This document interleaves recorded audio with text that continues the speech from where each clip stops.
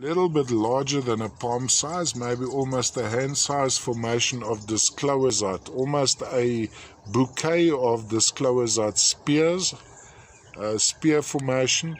Now this appears brown to silver metallic. I think with strong lighting you'd have a spielerite effect where the crystals would be opaque. So, so not totally see-through, but opaque. So first of all, let me take you around the various edges of the specimen. Across like that.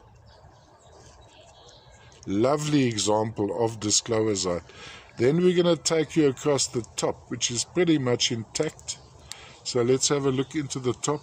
Uh, it appears almost two colors the, the silver metallic uh, or, or, sort of a metallic color going with a brown section over here. Now let's have a look, closer look. Now these are all little spears uh, forming together to uh, to ah there we go that's that's better that's more accurate sort of a reddish brownish lovely form lovely large piece uh, other associations from Berg Aukas, um, sometimes you have tiny uh, crystals sitting on, on these descloizites, but I think in this case we're predominantly looking at a matrix made up of solid descloizite. Even the core here would be descloizite.